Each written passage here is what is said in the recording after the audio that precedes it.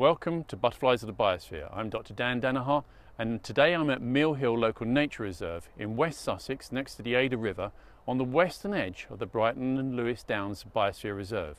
I'm here because I'm interested in a spring butterfly, the grizzled skipper. And to find that I'm going to need the help of someone who knows quite a lot about it, Colin Knight. Right, here I am with uh, Colin Knight. Colin, so you do the transect for this site. Um, what is a transect?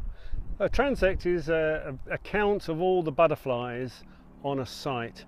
It's done for 26 weeks, starting the 1st of April, and every week I come down and I walk a set route on the uh, hillside here in the reserve. Uh, the uh, transect is divided, my transect is divided into eight sectors based on habitat type, and I, I'm supposed to come down between 10 a.m. and 4 p.m when the temperature is 20 degrees or above. Sometimes that's tricky, if not impossible, but you, you, do the best you can. And then I walk the uh, sectors and I count the number of butterfly species in each sector that I see. Two and a half metres either side of me, overhead and in front of me. Right, and, and is this a particularly good site for butterflies? Yes, it is. We have over 30 regular species uh, which are sighted here. Um, it's very well known for Chalkhill blues and Adonis blues and it has a preponderance of many other species, hair streaks and, and uh, the other blues. Right, well we're here of course for the grizzled skipper today and uh, that's uh, a black and white butterfly, predominantly black with uh, white squares or patches over it and I understand in my research for this trip that it's called grizzled because when it flies, it's, it's kind of grey, and, uh, uh, and of course, grise is French for um, grey. Yes, it's a very distinctive butterfly. It's quite small, so it's often mistaken for a day flying moth.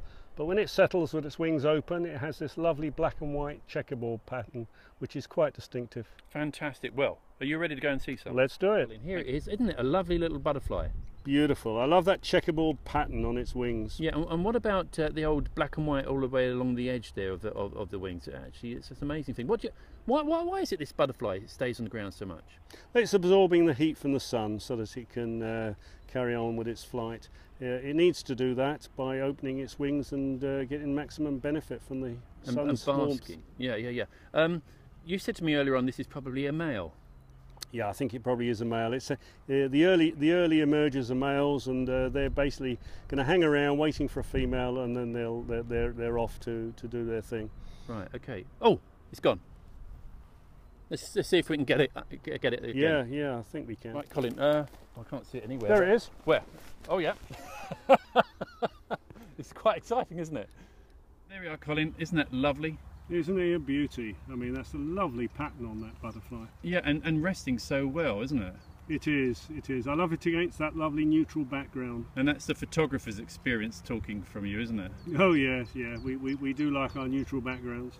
Um, and uh, have you noticed how the forewing on the right is just slightly lower than the other forewing? I think it's underneath, it's actually dislodged. It's like a, a disabled skipper, really. Yeah, it's probably damaged. They, they do flit around and they probably get damaged on the brambles. Well, that's a, that's a really a, amazing site and, and so easily overlooked. I understand that they they can be locally common, but you know, widely disputed in the in the south, but don't go very far up into Britain.